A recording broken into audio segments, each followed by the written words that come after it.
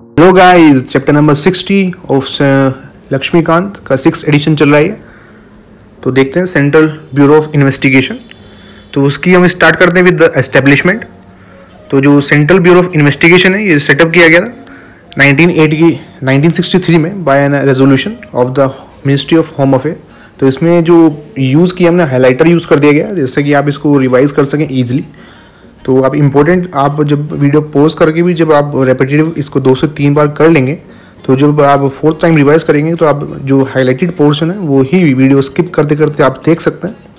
तो एस्टेब्लिशमेंट देखते हैं सीबीआई का। तो ये जो सेटअप की गई थी 1963 में एक रेजोल्यूशन के through by the ministry of home affair that's why ये एक नॉन कॉन्स्टिट्यूशनल बॉडी है। लेटर इसको जो ट्रांसफ़र कर दिया गया था मिनिस्ट्री ऑफ़ पर्सनल से डेट्स वाई ये अब अटैच ऑफ़िस इंजॉय करती है। जो दिल्ली पुलिस एस्टेब्लिशमेंट है, जो विजिलेंस केसेस देखता है, वो सेटअप हुई थी इन 1941 वो भी मर्ज कर दी गई थी सीबीआई के साथ ही। और जो एस्टेब्लिशमेंट है सीबीआई का, वो रिकमेंड किसने किया था? वो संथान कमेटी ने किया था ऑन प्रिवेंशन ऑफ़ करप्शन और जो सीबीआई वो स्टेटरी बॉडी नहीं है, लेकिन ये अपनी जो पावर ड्राइव करता है, वो एक एक्ट से ही करता है। वेरी इंपॉर्टेंट कि Delhi special police establishment act 1946 तो जो सीबीआई है, वो main investigating agency central government की, और एक ये इंपॉर्टेंट रोल प्ले करती है करप्शन के जो भी केसेस होते हैं, उनको प्रिवेंट करना, और इंटीग्रिटी मेंटेन करना एडमिनिस्ट्रेशन के अंदर, और ये असिस्टेंस भी देता है सेंट्रल विजिलेंस कमीशन और लोकपाल को। और ये डिफरेंस क्या होता है, कि नेचर ऑफ़ क्लासेस में, जो भी हम डिफरेंट इन्वेस्टिगेशन एजेंसी देखते हैं, कि जो एन है नेशनल इन्वेस्टिगेशन एजेंसी इसका भी हम सेपरेट चैप्टर डिस्कस करेंगे। जो एक्स्ट्रा टॉपिक्स ऐड हुए हैं जो सिक्स एडिशन में और जो सीबीआई इन दोनों के बीच में जो नेचर ऑफ़ केसेस हैं, जो इन्वेस्टिगेट किए जाते हैं, उसका डिफरेंस है। तो फ़र्स्ट है कि जो एनआईए है, ये बनाई गई थी, जो मुंबई टेरर अटैक हुआ था 2008 के अंदर for the investigation of incident terrorist attack जो हुआ था, और उसकी जो फंडिंग टेररिज्म होता है और अदर टेरर रिलेटेड क्राइम्स होते हैं तो उनके रिगार्डिंग ये केस देखता है। तो इसमें जो मेन कीवर्ड है डेट इज़ टेरर और लेकिन जो सीबीआई है, वो इन्वेस्टिगेट करता है करप्शन के केसेस भी। और इकोनॉमिक ऑफेंडर्स भी होते हैं सीरियस या ऑर्गेनाइज क्राइम्स भी अदर देन टेररिज्म उन्हें भी ये डील करता है। तो आपको ये डिफरेंस क्लियर होना चाहिए कि जो एन है, इसमें जो की वर्ड्स आ रहा है तो वो टेरर है, कि जो टेरर से रिगार्डिंग जो भी इश्यूज़ होते हैं, वो डिस्कस करता है। लेकिन जो ये CBI है हमारा तो CBI जो करप्शन से भी इकोनॉमिक ऑफेंडर से भी, ये सभी जो केसेस हैं, ये डिस्कस करता है। तो next move to the motto mission and vision of CBI तो जो मोटो है इसका that is industry impartiality and integrity और मिशन है कि हमारे संविधान को अपहोल्ड करना और जो भी लैंड है, उसे इंडेप्थ इन्वेस्टिगेट करना और सक्सेसफुल लीगल प्रोसीडिंग करना, कोई भी ऑफेंस की, और प्रोवाइड करने की लीडरशिप डायरेक्शन पुलिस फोर्सेस को भी, और एक्ट करना एज अ नोडल एजेंसी जो कि इंटर स्टेट और इंटरनेशनल कोऑपरेशन को एनहेंस करे इन लॉ एनफोर्समेंट इसका विज़न क्या है? उसके मोटो के बेसिस पे जो इसका विज़न है इज़ नीड टू डेवलप एक प्रोफेशनल ट्रांसपेरेंसी अडेप्टेबिलिटी जिससे कि चेंज किया जा सके साइंस और यूज़ किया जा सके साइंस एंड टेक्नोलॉजी को अपने काम में। और सी बी आई फोकस करती है ये कॉम्बेट करना, कि इससे डील करना इसे दूर करना करप्शन को। इन पब्लिक लाइफ ख़त्म करना, कम करना इकोनॉमिक वायलेंट क्राइम्स को।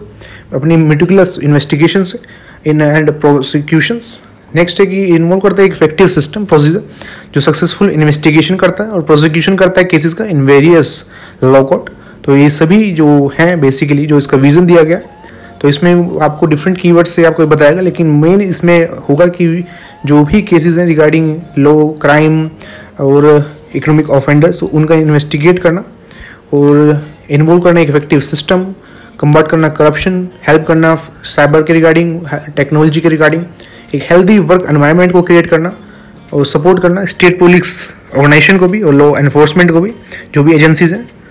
तो प्ले करने एक leading role in the war against national and transitional जो भी क्राइम्स हो रहे हैं ह्यूमन राइट्स को अपहोल्ड करना तो ये कॉमन सेंस वाले सभी पॉइंट्स हैं। डेवलप करने एक साइंटिफिक टेम्पर ह्यूमनिज्म की भावना को लाना, एक एक्सीलेंस के लिए स्ट्राइव करना, और प्रोफेशनलिज्म होना चाहिए नॉट अमेचर्स सभी spheres of functioning so that जो ऑर्गेनाइजेशन है, एक हाई लेवल ऑफ़ एंडर और अचीवमेंट पे राइज कर सके। अब ऑर्गेनाइजेशन देख लेते हैं ओरिजिनली 1963 के अकॉर्डिंग जो सी बी आई सेटअप की गई थी विद सिक्स डिवीज़न तो फ़र्स्ट है कि जो इसमें जो डिवीज़न है छः में, कि इन्वेस्टिगेशन और एंटी करप्शन डिवीज़न है, जो दिल्ली स्पेशल पुलिस एस्टेब्लिशमेंट है.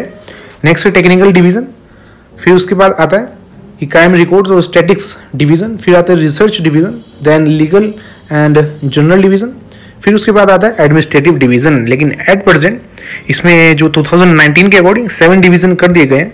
तो देखते हैं कि इसमें एंटी करप्शन डिवीज़न तो हमने डिस्कस किया इकोनॉमिक ऑफेंडर डिवीज़न तो इसमें जो सेवेंथ है, वो ऐड कर दिया गया। सेंट्रल फोरेंसिक साइंस लेबोरेटरी जो असुर जो सीरीज़ भी बनी है, आपने वो देखी होगी।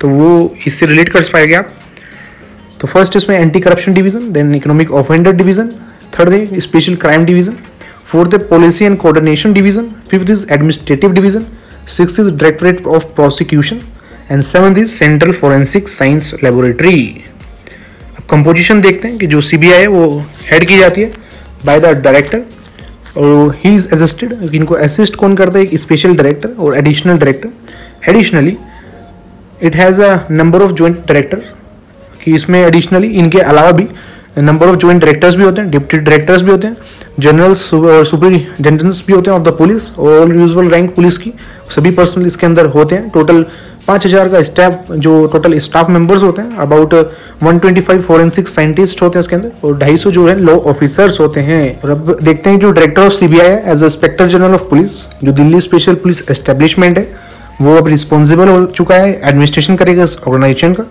और जैसे ही सीवीसी एक 2003 का इनेक्ट होता है तो जो सुपरविजन है, दिल्ली स्पेशल पुलिस एस्टेब्लिशमेंट का, वो सेंट्रल गवर्नमेंट को दे दिया जाता है, जो कि पहले सीवीसी के पास था सेंट्रल विजिलेंस कमीशन पहले सुपरवाइज करता था। जैसे ऑलरेडी हम उस चैप्टर में पढ़ चुके हैं कि जो इनका टेन्योर होता है of the director of C V I that is two year जो लोकपाल और लोकायुक्त एक्ट 2013 का, वो उसने अमेंड किया है D S P E act 2003 का जो एक हमने ऊपर पढ़ चुके हैं, और अब पढ़ रहे हैं कि जो 1946 का एक्ट है, Delhi special police establishment act उसको अमेंड किया है। क्या क्या चेंज किए हैं इसकी कंपोजिशन वो देख रहे हैं। कि जो सेंट्रल गवर्नमेंट है shall appoint the director of CBI on the recommendation of a three member committee तो जो ऑलरेडी जैसे हम और बॉडीज में पढ़ रहे थे, वहाँ पे प्रेसिडेंट साहब द्वारा अपॉइंट किए जाते हैं, लेकिन यहाँ पे जो चेंज किए गए तो यहाँ पे है कि जो सेंट्रल गवर्नमेंट है, वो अपॉइंट करेगी डायरेक्टर ऑफ़ सीबीआई को। किसकी रिकमेंडेशन तीन मेंबर कमेटी उनमें कौन होंगे? Prime minister the chairman leader of opposition in the Lok Sabha and chief justice of India तो जो हमारी ट्रिक चल रही है सब में पीलोक कि वहाँ पे हम डिस्कस करते थे कि जो सी है डेट इज़ कैबिनेट तो ध्यान इतना रखेंगे बस, जो सी बी आई है, यहाँ पे जो सी होगा, वो चीफ जस्टिस ऑफ़ इंडिया होगा। ये ट्रिक आपकी हर जगह, जो रिकमेंडेशन होगी, इनकी काम करेगी। और जज ऑफ़ सुप्रीम कोर्ट जो नॉमिनेट किए गए हैं बाई हिम जिस चीफ जस्टिस द्वारा। और सेकेंड है they shall be a directorate of prosecution ये पहले हमने देख लिया कि जो डायरेक्टोरेट ऑफ़ प्रोसिक्यूशन यहाँ पे देख रहे हैं, ऊपर हमने देखा डायरेक्टर ऑफ़ सीबीआई तो जो डायरेक्टर ऑफ़ प्रोसिक्यूशन है, वो हेड किया जाएगा by director for conducting the prosecution of cases under the Lokpal और लोकल एक्ट टू थाउज़ेंड कि जो डायरेक्टर ऑफ़ प्रोसिक्यूशन है, उसको हेड कौन करेंगे? जो डायरेक्टर अभी हमने ऊपर पढ़े हैं सीबीआई के। जो भी, किस लिए? कि जो भी लोकपाल और लोकायुक्त एक्ट 2013 के जो भी केसेस हैं, उनके रिगार्डिंग उससे डील करने के रिगार्डिंग और जो डायरेक्टर है ऑफ़ द प्रोसिक्यूशन वो shall be an officer not below the of joint secretary of the government of India कि जो डायरेक्टर ऑफ़ प्रोसिक्यूशन है, वो सेक्रेटरी जो ज्वाइंट सेक्रेटरी होते हैं गवर्नमेंट ऑफ़ इंडिया के, इस रैंक के होनी चाहिए, इससे नीचे नहीं चलेगा। And he shall function under the overall supervision control of director of CBI already आपको एक्सप्लेन कर चुके हैं कि ये जो भी काम करेगा अंडर द डायरेक्टर करेगा, जो डायरेक्टर ऑफ़ एस सी की बात हो रही है। And he shall be appointed by central government किसकी रिकमेंडेशन पे? On the recommendation of central vigilance commission और इनका टाइम पीरियड भी दो साल ही है एज जैसे डायरेक्टर ऑफ़ सीबीआई का था।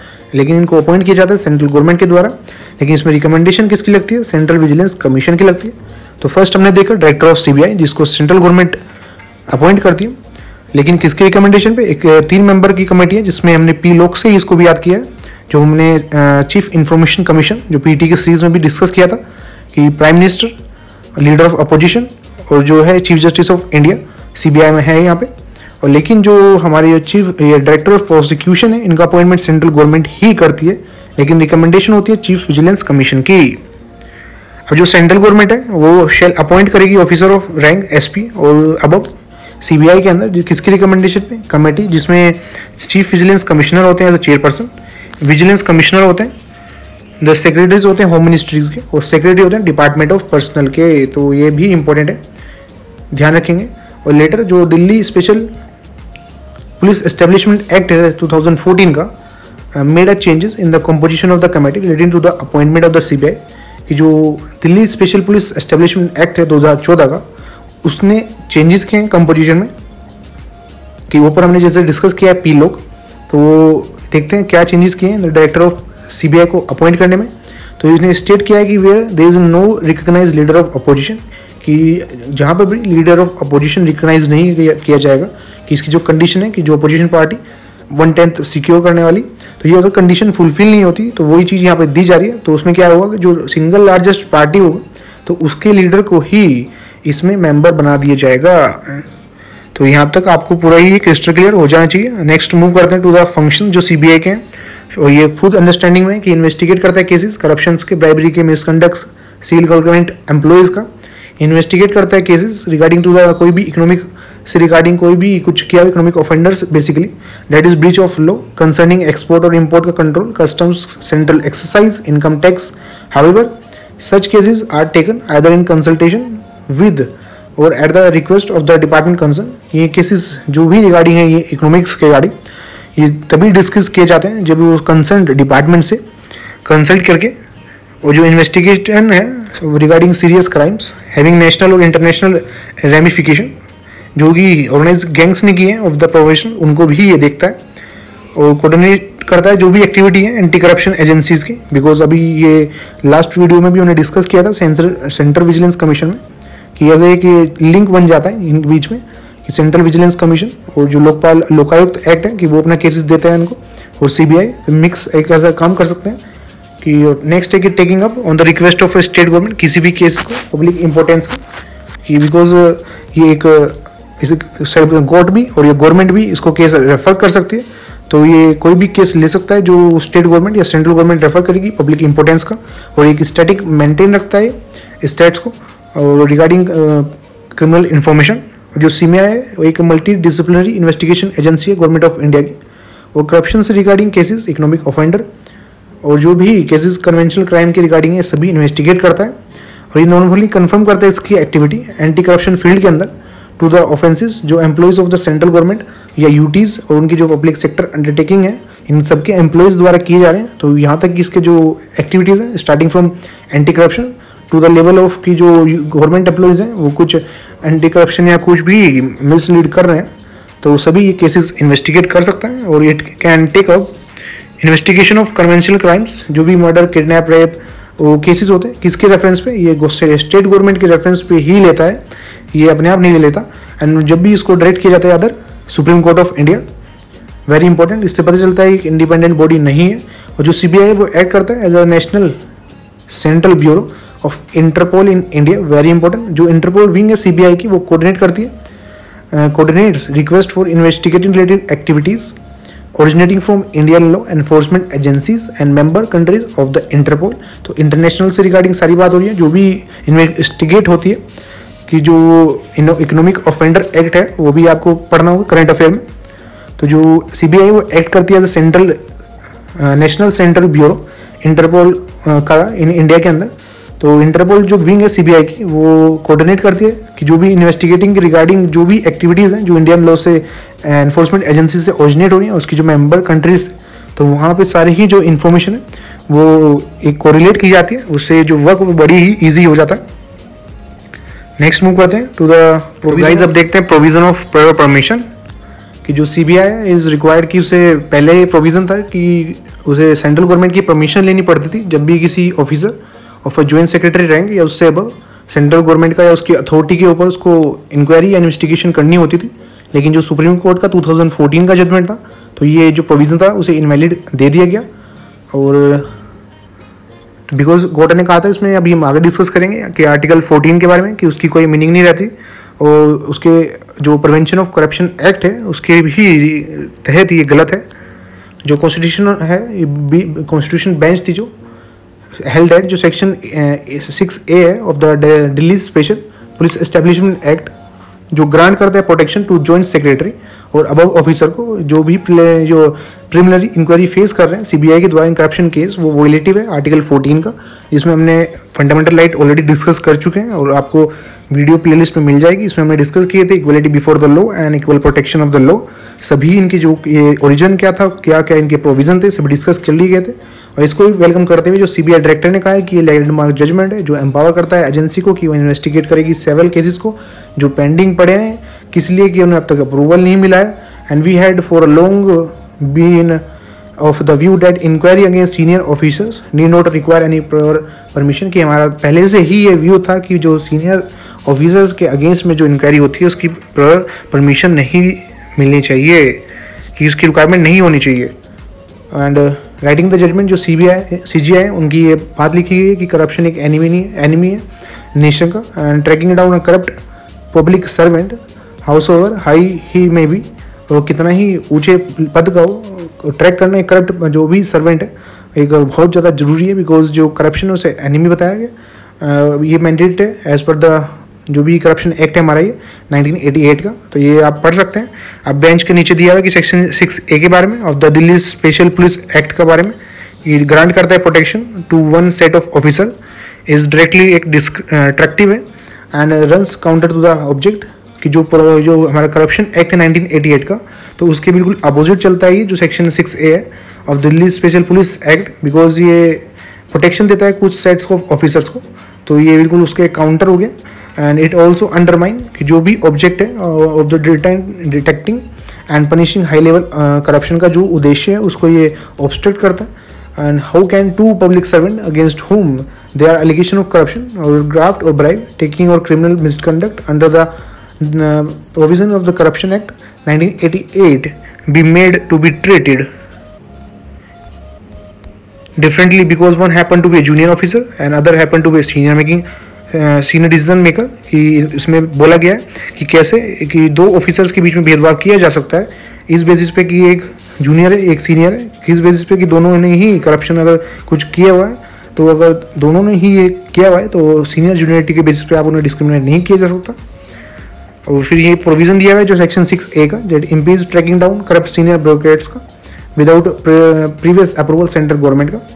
जो सी बी आई है can not even hold preliminary inquiry much less an investigation into the allegation और जो प्रोटेक्शन है सिक्स ए में हैज़ पोम्पेसिटी और शील्डिंग द कर तो ये जो बेंच है, इसके बारे में आप पढ़ सकते हैं। ये इंपॉर्टेंट नहीं है, आपको जो ब्रिज ऑफ़ आर्टिकल 14 ध्यान रखना है। और ये जो सिक्स ए सेक्शन है, ये इसके एक एज अ काउंटर वर्क करता है to the our PC act 1988 जो करप्शन एक्ट है, अब दोनों में डिफरेंस देख लेते हैं, जो सीबीआई और स्टेट पुलिस में जो स्पेशल पुलिस एस्टेब्लिशमेंट का, जो डिवीज़न है सीबीआई का, उसका जो रोल है इज़ सप्लीमेंट्री कि प्लस एक एज अ काम करता है to the state police along with state जो पुलिस फोर्स होती है तो जो एस ई है, ये भी कॉन्करेंट पावर इंजॉय करता है कुछ केसेस में भी under the Delhi special establishment Delhi police establishment act 1946 however कि डुप्लीकेशन और ओवरलैपिंग केसेस में को अवॉइड करने के लिए बिटवीन द टू एजेंसीज कुछ एडमिनिस्ट्रेटिव अरेंजमेंट बनाए गए तो ये नीचे दिए गए हैं कि जो स्पेशल पुलिस एस्टेब्लिशमेंट है, वो उन केसेस को लेगा जो एसेंशियली और सब्सटेंशियली सेंट्रल गवर्नमेंट्स के रिगार्डिंग में होंगे सेंट्रल गवर्नमेंट के अफेयर्स या उनके एम्प्लॉयज़ के रिगार्डिंग होंगे भले उसमें गवर्नमेंट के जो एम्प्लॉय हैं, वो भी इंक्लूड हो, लेकिन मेन है सेंट्रल के जो गवर्नमेंट एम्प्लॉय हैं, वो होने चाहिए। तो ये जो सी है, वो उसे कंसिडर करेगा। सेकेंड है कि जो स्टेट पुलिस है वो कब केसेस को लेगी? जब सब्सटेंशली जो केसेस है, वो स्टेट गवर्नमेंट अफेयर से रिगार्डिंग है। भले ही उसमें सेंटर के एम्प्लॉयज़ भी हों तो दोनों आपको क्लियर हो जाने चाहिए। फ़र्स्ट में देखा कि सी तब लेगी जो मेन केस है, वो सेंटर का है एम्प्लॉयज़ का है, और जो स्टेट के भले ही उसमें एम्प्लॉयज़ इंक्लूड हो। और सेकंड में कि जो स्टेट की जो पुलिस है, वो केसेस को देखेगी जब मेन जा रहा है कि जो केस वो स्टेट गवर्नमेंट का, भले ही उसमें सेंट्रल गवर्नमेंट एम्प्लॉयज़ इंक्लूड हों। और जो सीबीआई है वो उन केसेस को भी ले सकती है against the employees of the public undertaking या कोई भी स्टेटरी बॉडी जो कि एस्टेब्लिश की जा रही हो या फाइनेंस दी जा रही हो by the central government very important keyword finance because यहाँ पे ये घुमा के डाल सकते हैं कि केवल ओनली एस्टेब्लिश करके, लेकिन आप ध्यान रखेंगे कि एस्टेब्लिश और फाइनेंस भी अगर की जा रही है तो वो भी सीबीआई के परव्यू में आता है। अब सी बी देख लेते हैं कि वो गाजियाबाद के अंदर यूपी फ़ंक्शंस कर रही है 1996 से। अर्लियर जो ट्रेनिंग प्रोग्राम थे, वो दिल्ली के अंदर होते थे। जो विज़न क्या है सीबीआई ट्रेनिंग का excellence in training is the field of crime investigation prosecution and vigilance function और गाइज़ आपका यही होमवर्क है, आप जो यूपीएससी की टैगलाइन है, वो कमेंट में ज़रूर लिखेंगे ये देखते हैं कि कितनों को आपको पता है ये। नेक्स्ट पैराग्राफ में है कि जो एकेडमी है, एक फोकल पॉइंट ट्रेनिंग एक्टिविटीज़ का।